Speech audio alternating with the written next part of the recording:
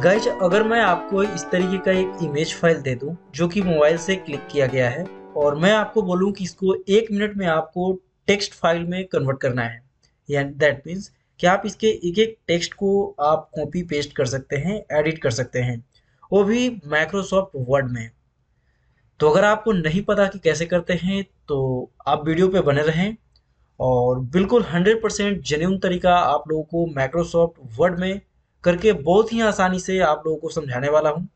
किसी तरीके के भी डॉक्यूमेंट हो जेपीजी फॉर्मेट में हो इजीली आप उसको टेक्स्टेबल फ़ाइल में कन्वर्ट कर सकते हो और उसको कॉपी कर सकते हो कट कर सकते हो एडिट कर सकते हो, सब कुछ पॉसिबल है। तो चलिए कैसे करते हैं, आप लोगों को बताते हैं। दोस्तों, वीडियो में आगे बढ़ने से पहले आपको एक टूल के बारे में बताने वाले हैं, जिसका नाम है वन ब्राउज़र तो वन ब्राउज़र एक तरीके का ब्राउजिंग टूल है, जिस तरीके से आप गूगल क्रोम और एज को यूज़ करते हैं। उसी तरीके से आप वन ब्राउज़र का भी यूज़ कर सकते हैं। इसमें आपको वीपीएन भी बिल्ट इन मिलता है। आपको अलग से कोई भी वीपीएन डाउनलोड करने की ज़रूरत नहीं है। ब्राउज़र में मल्टीपल अकाउंट मैनेज करना चाहते हैं तो आप वो भी यहाँ पे कर सकते हैं। साथ ही आप अपने अकाउंट को किसी के साथ शेयर भी कर सकते हैं। तो ये सभी फीचर्स यहाँ पे दी गई है। तो आप इस टूल को एक बार ज़रूर यूज़ कीजिए। अगर आप 2024 में आपने यूज़ नहीं किया है तो आपको ज़रूर एक बार ट्राई करना चाहिए। लिंक नीचे डिस्क्रिप्शन में दिया गया है तो आप वहाँ से डाउनलोड कर सकते हैं। तो सबसे पहले गाइज़ आपको माइक्रोसॉफ्ट वर्ड ओपन कर लेना है। आप कोई भी माइक्रोसॉफ्ट वर्ड यूज़ कर रहे हो, सब में सेम ही तरीका है। माइक्रोसॉफ्ट वर्ड ओपन करने के बाद सबसे पहले गाइज़ आपको आ जाना है इंसर्ट में। इंसर्ट में आने के बाद आपको यहाँ पे पिक्चर पर क्लिक करना है। और आपको यहाँ पर उस इमेजेस को सिलेक्ट करना है जहाँ पर आपकी इमेजेस रखी हुई है, जिसको आप टेक्स्ट में कन्वर्ट करना चाहते हैं। तो यहाँ पर देख सकते हैं मेरा एक बुक का मैंने अपने फ़ोन से एक पिक्चर लिया है और इसको मुझे एडिटेबल फ़ाइल में कन्वर्ट करना है। तो सबसे पहले मैंने इसमें ऐड कर दिया। ऐड करने के बाद यहाँ पर आपको करेक्शंस पर क्लिक करना है। करेक्शन पर क्लिक करने के बाद यहाँ पर नीचे आप आएँगे तो पिक्चर करेक्शन ऑप्शन होगा तो इस पर आपको क्लिक करना है।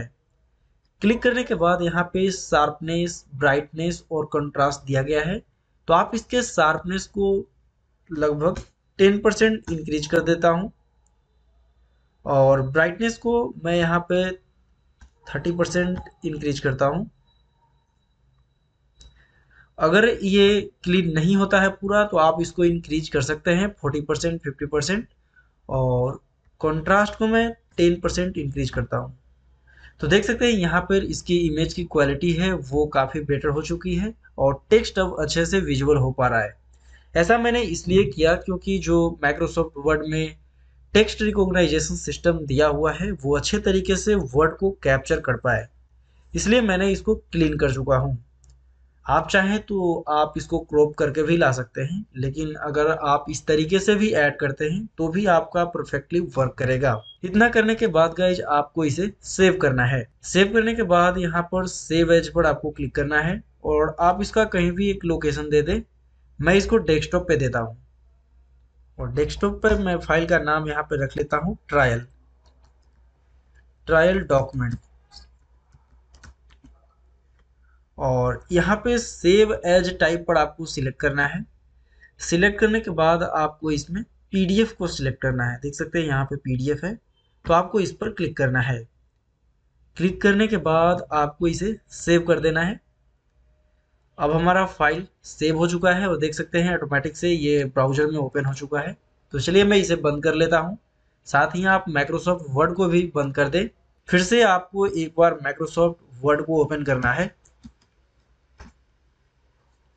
माइक्रोसॉफ्ट वर्ड ओपन करने के बाद ब्लैंक डॉक्यूमेंट को सिलेक्ट करें और इस तरीके से फिर से आपका ओपन हो जाएगा। उसके बाद अब क्या करना है, आपको यहाँ पर व्यू सेक्शन में आना है। व्यू टैब पर आपको क्लिक करना है। व्यू टैब पर क्लिक करने के बाद आपको यहाँ पे आउटलाइन का एक ऑप्शन मिलेगा ऊपर में तो आपको इस पर क्लिक करना है। आउटलाइन पे क्लिक करेंगे तो जैसे ही आप क्लिक करेंगे तो यहाँ पर आपको शो डॉक्यूमेंट का एक ऑप्शन इनेबल हो जाएगा। तो आपको इस पर क्लिक करना है। सो डॉक्यूमेंट पे जैसे ही क्लिक करेंगे तो यहाँ पे फिर से दो ऑप्शन यहाँ पे खुल के आएँगे क्रिएट और इंसर्ट तो आपको इंसर्ट पर क्लिक करना है। ध्यान रहे, आपको इंसर्ट पर क्लिक करना है। तो इंसर्ट पर क्लिक करके और अभी जो आपने फ़ाइल पीडीएफ सेव किया था, उसको आपको सिलेक्ट करना है। तो मैंने उसे डेस्कटॉप पे सेव किया था। तो चलिए मैं ये ट्रायल डॉक्यूमेंट था, मैं इसको सिलेक्ट कर लेता हूँ। सिलेक्ट करने के बाद यहाँ पर आपको ऑप्शन आएगा ओके, कैंसिल और हेल्प। तो आपको इसे ओके पर क्लिक करना है। क्लिक करने के बाद फिर से यहाँ पर आपका ऑप्शन आएगा yes yes to all, no और नो टू ऑल। तो आपको यहाँ पर यस टू ऑल पर आपको क्लिक करना है। यस टू ऑल पे जैसे ही क्लिक करेंगे तो आपके डॉक्यूमेंट जो भी जेपीजी था आपका, जिसको आपने पीडीएफ में कन्वर्ट किया था जो भी टेक्स्ट उसमें अवेलेबल होगा, वहाँ, यहाँ पर आपका ऑटोमेटिक से वो सारा टेक्स्ट यहाँ पे कन्वर्ट होकर आ जाएगा। और यहाँ पर इस तरीके से आप एडिट कर सकते हैं। इसमें कुछ ऐड कर सकते हैं। इस तरीके से देख सकते हैं, सारा टेक्स्ट एकदम एडिटेबल हो गया है। अब इसमें जो भी आप चेंज करना चाहें या फिर इसमें कट कॉपी पेस्ट करना चाहें तो आप कर सकते हैं। मान लीजिए कि अगर आपका बॉस आपको एक डॉक्यूमेंट देता है और आपको बोलता है कि इसे एक एक करके टाइप करना है। तो आप एक एक करके टाइप ना करके आप ये तरीका अपना सकते हैं और काफ़ी ज़्यादा टाइम आप सेव कर सकते हैं। तो गाइज़ मुझे उम्मीद है कि ये वीडियो आप लोगों को हेल्पफुल लगा होगा। वीडियो हेल्पफुल लगे तो वीडियो को लाइक करना ना भूलें और इसी तरीके के वीडियो हमेशा देखने के लिए चैनल को सब्सक्राइब करना ना भूलें और नीचे कमेंट करके ज़रूर बताएँ कि ये वीडियो आप लोगों के लिए हेल्पफुल था या फिर नहीं।